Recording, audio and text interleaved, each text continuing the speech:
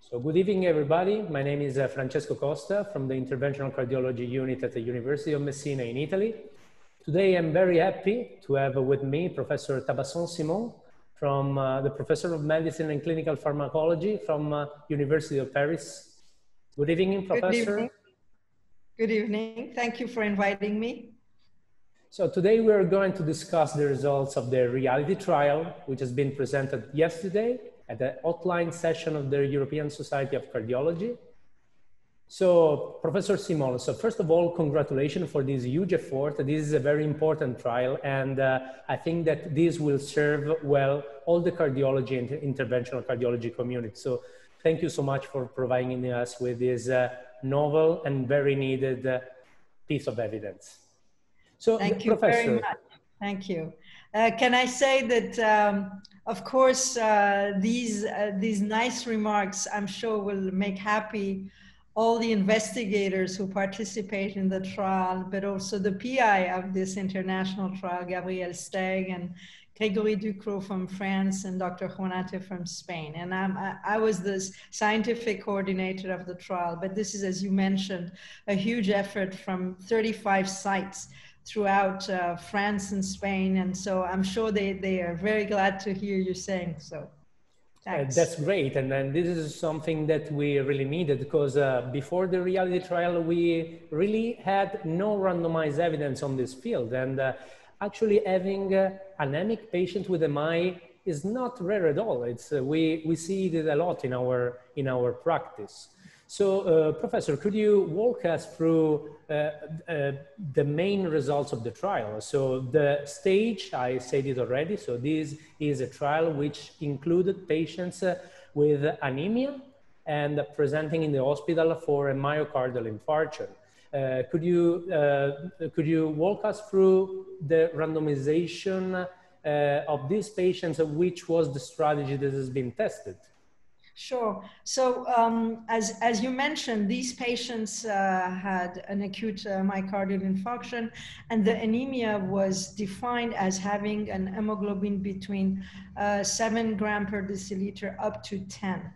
Uh, patients were uh, then randomized in uh, two arms in an open label fashion. In the liberal arm, um, patients had to be transfused as soon as they were randomized, uh, and the target level of H, uh, hemoglobin to be achieved had to be at least at least uh, more than 11. Whereas in the uh, restrictive strategy, uh, the transfusion uh, was given only when the hemoglobin was 8 gram per deciliter, and the target to be reached was 8 gram per deciliter. The uh, design of the trial, this is a one year trial duration of a follow up, and the result we presented at ESC was the 30 days because this was the primary uh, uh, outcome of the trial. There was actually, the trial had uh, a primary clinical outcome, which was the, uh, the non inferiority in terms of reducing MACE. MACE was defined as total death, recurrent MI, stroke, and urgent uh, revascularization for ischemia. But together, uh, the hypothesis was that the restrictive strategy would be non-inferior clinically, but less costly. And we had a primary uh, economic um, uh, criteria, which was the incremental cost effectiveness ratio with MACE as the uh, efficacy criterion. So that was the design of the trial. So now regarding the results, um, first regarding hemoglobin, of course, at randomization, uh, patients had both in both arms uh, similar levels of hemoglobin, but uh, both at nadir and but also at discharge, patients in the restrictive arm had a, a much lower hemoglobin uh, level than those in the liberal strategy.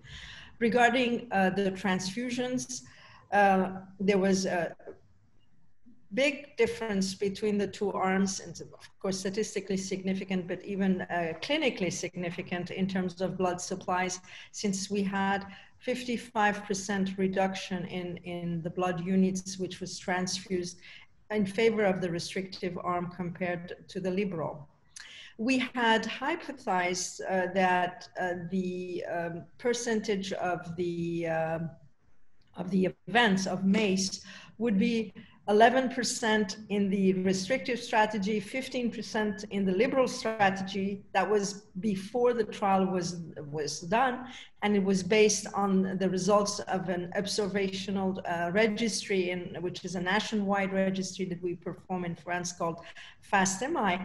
And interestingly, we had quite uh, ex almost exactly the same number in this trial at 30 days, which was 11% in the restrictive strategy compared to 14% in the liberal strategy with the relative risk of 0.79, uh, which uh, and, and um, which had an upper uh, bond of confidence uh, interval of 1.80 and 18. And, and, as you know, in the non-inferiority trial, we have to look to the upper bound of the confidence interval. And the margin that we had uh, decided prior to the, to the trial was 1.25.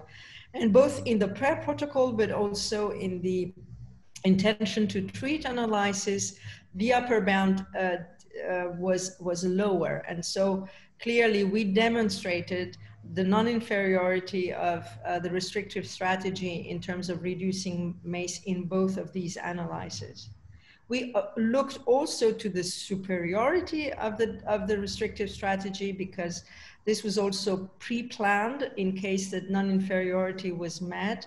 But the trial was, we didn't find a significant effect there, but obviously the trial was not designed and powered for, for that.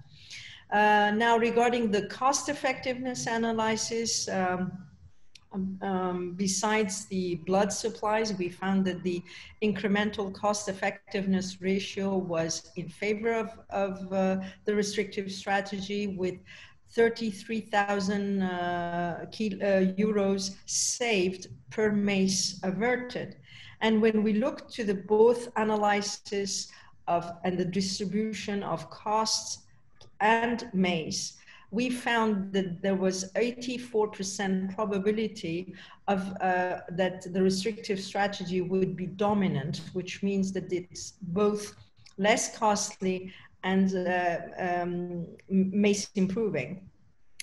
Regarding safety, because as you know, transfusion may have some issues in terms of safety also we looked to the overall safety, analyzed overall safety between the two groups. There was, they did not differ. However, um, in the restrictive arm, there was less, significantly less bacterial infection, in, in, infection together with less acute um, respiratory distress uh, syndrome. So altogether looking to the reduce uh, uh, the non-inferiority in reducing MACE regarding safety, but also the cost. Uh, all these uh, variables are in favor and suggest that uh, the restrictive strategy should be in this target population uh, the the strategy to be used.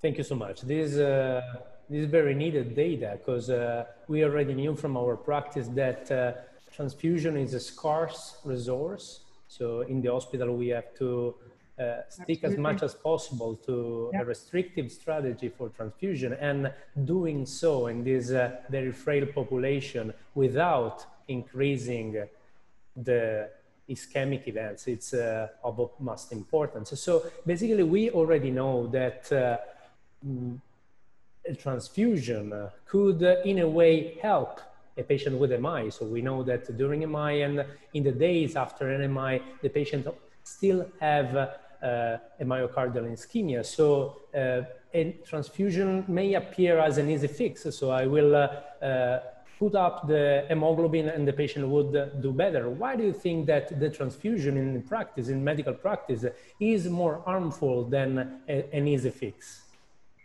I, I fully agree with you. Uh, with everything you said, uh, transfusion is scarce, and but, but has also uh, some just logistic issues in in our clinical practice in in hospitals uh, uh, everywhere, both in, in in our countries. And uh, in theory, however, transfusion um, has some beneficial, might have some beneficial effect because it improves uh, oxygen delivery. And, and so that was actually the rationale for saying that you should use a liberal strategy. However, there have been some data showing that uh, this oxygen delivery may not be as effective uh, because uh, it actually may be um, uh, because the blood can be depleted in, in uh, um, uh, nitric oxide or in terms in, in 2 DPG um, in, in terms of storing. And, and, and also because uh, the the issue of transfusion uh, when when you give transfusion you may increase uh, platelet activation and platelet uh, aggregation, and also um, vasoconstriction. And so it may be deleterious in, in patients with, uh, with MI, for example. Absolutely. And uh, another question that I wanted to ask you is that uh, uh, we know, that, and uh, we of course continue to use transfusion in patients that have an overt bleeding. So if a patient has a life-threatening bleeding, we have to use transfusion because in that case it's life-saving. So my question is, uh, did you find any difference among this type of an anemic patient? So we can have a patient that is having an overt active bleeding and that is the reason why he's losing some hemoglobin or on the other way, we can have some patients that have a chronic long-standing anemia like patients with CKD and that have been anemic for a long time. Did you look at uh, these subgroups? Uh, thank you. This is, of course, these are important questions. Uh, we looked, actually, we, we did some subgroup analysis. We haven't done everything yet because these are, are uh, quite uh, recent results, but we looked actually to uh, to the uh, subgroups of those who had an overbleeding. Actually, there were not that many, uh, 36, for example, in the restrictive strategy. So, so a, a, low percentage of patients who had overbleeding. And also we looked to those who had chronic anemia. And in um, the results actually were consistent and there was no interaction uh, in, in, in the impact of uh, the effects of uh, uh, um, the transfusion in terms of MACE in this subgroup population. Yeah, interesting. And another thing that I found very interesting of the, of the reality trial is the design of the trial. So of course, uh, you and all the groups are really and greatly experienced trialists. And, and I think that the definitive uh, proof is that uh, actually you found the very same event rate in the trial as you planned. So the trial oh, has been uh, has been planned really well. And this is actually the, the dream of all the trialists. So what I found interesting is uh, why did you choose to do a cost-effective analysis? So uh, I think it's very interesting and informative. In the interventional community, we are not really used to this kind of metrics, but uh, why did you choose to use this design for the reality? Well, that was a really a, a, big discussion with all of us because uh, at the beginning, uh, as as you mentioned, like uh, usually uh, we were thinking of only presenting a trial of uh, an, a non-inferiority in terms of MACE. But then, while we were discussing, we thought that it would be very important uh, because this was actually a public funding trial and, uh, and also because in, as an academic now more and more we have also to think about the cost and the cost effectiveness of, of the strategy we are using in, in the patients. So we thought that would be a, a, a an important questions question to answer to, to physicians uh, uh, can we can we have both uh, a clinical non-inferiority but a high and a better cost. And that was that was our our actually um, hypothesis. We thought that the restrictive strategy by using less blood would be cost effective.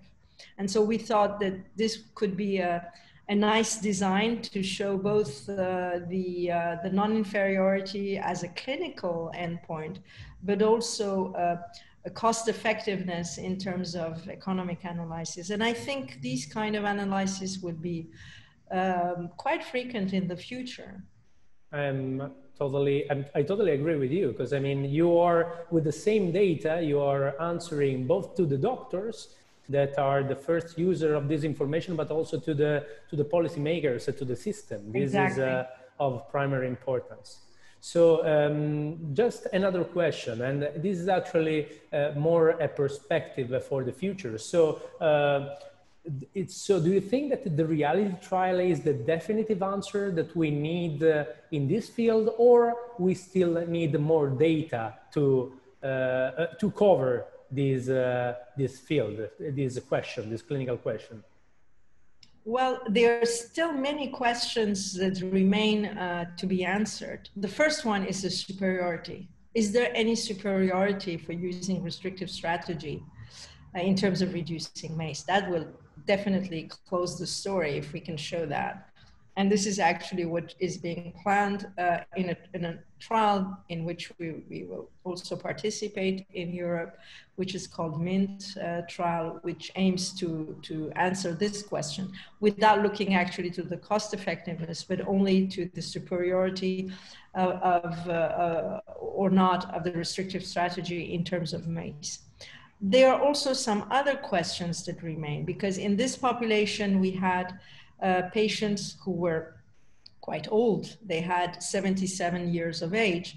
So whether in the younger ones is exactly is is the results exactly the same we cannot definitely answer to this question because that will need to have more uh, patients in in subgroup uh, of younger ones and maybe uh, by we are thinking of uh, using the data when Mint will be finished in a couple of time, together with those of reality, to be able to answer some of these uh, questions in subgroup population.